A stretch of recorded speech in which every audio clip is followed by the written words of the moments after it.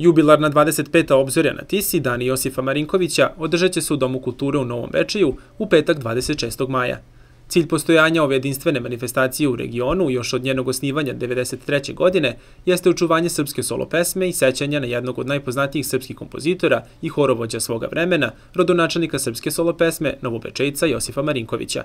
Povodom jubileja pripremljen je bogat program koji je ovom prilikom najavio direktor Doma kulture opštine Novi Bečej, Novica Blažin, i pozvao se ljubitelje solo pesme i umetnosti uopšte da se pridruže proslavi jubileja. 25 godina četvrt vek obzore na Tisi i ja moram ovom prilikom da se zahvalim uh, utemeljivačima uh, ove manifestacije i da kažemo inicijatorima čuvanja dela i imena Josifa Marinković, to su pre svega pokojna Zagorka Jegdić, i eto muzikolog i, i, i, i doktor, da kažemo, muzičkih nauka Dimitrije Golemović. Uh, jeste, 25 godina dočekali smo ovaj, i svi moji prethodnici i ja, eto, uspeli smo da uh, istrajemo u, u misiji koja se zove Obzore na Tisi. Ove godine, tačnije 26. maja, sa početkom u 18 časova, očekuje nas kažemo, zanimljiv, malo drugačiji ovaj program, a to je otkrivanje biste Josifu Marinkoviću još jedan put moram da se zahvalim kompaniji Niz Gastrom Njeft što nas je podržalo u toj nameri da obeležimo i na taj način uh, dane Josifa Marinkovića. U 18 časova, kažem, otvaranje biste, gde ćemo imati jedan mali prigodan program u vidu uh, nastupa hora osnovne škole, dece osnovne škole Josif, uh, Milo Čiplić pod rukovodstvom Sofije Jegdić-Gurjanov obratit će se, mi se nadamo, pokrenjski sekretar e, za kulturu, javno e, informisanje odnos sa verskim zajednicama, gospodin Štatkić, predstavnici kompanije NIS i ja se nadam ja, ovaj, e, potom u 18.30 ulazimo u galeriju Tiske akademije Akvarela gde imamo promociju knjige koja je naravno isto se poziva na 25 godina obzori autora Stevana Dadvidovića, naravno autor će se obratiti, obratit će se, uh, opet kažemo, jedan muzikolog, Marija Damov, koja je dugogodišnji stručni konsultant i pratilac obzorja. Uh, znači, to promovišemo zajedno sa CD-om, odnosno kompakt diskom, koji smo specijalno za ovu namenu i 25 godina izabrali, to je 17 kompozicija naj, da kažemo, poznatijih e, kompozitora današnjice koji su namenski komponovali kompozicije za, za obzorja.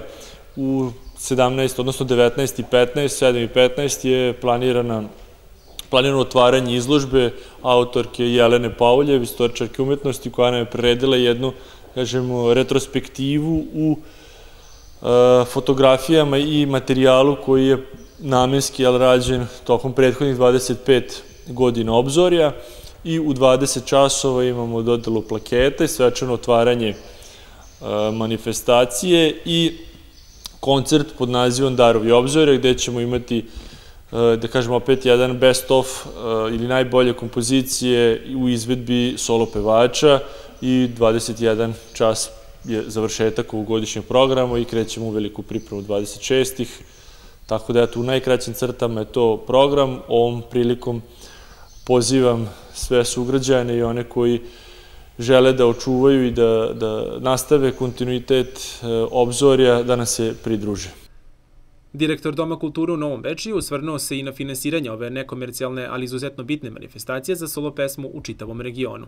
Jeste, 25 godina je respektabilan broj godina i financije su, pa mogu da kažem, uvek bile neki problem, jer nismo komercijalni, nismo popularni, što bi rekli, nismo in, ali prosto i to je, e, da kažemo, temelj pevanja u Srbiji, generalno u svetu, solo pesme, osnov svega, abeceda, kako kažu ovi stručnjaci, E, tako da mora i to da se, da se čuva i da se neguje. Financije jesu problem, ali eto, uspevamo i moji prethodnici su uspevali da u, u ovih 25 godina e, održe e, obzorja i hvala im svima na tome. E, ove godine, kao i prethodne, nažalost, nemamo, nismo prepoznatljivi kod e, resornog republičkog ministarstva, ali je tu pokrinjski sekretarijat za kulturu, javno informisanje i odnose sa verskim zajednicama, lokalna samouprava, kompanija NIS koja je prošle godine, ja da kažemo, ovogodišnju manifestaciju podržala u vidu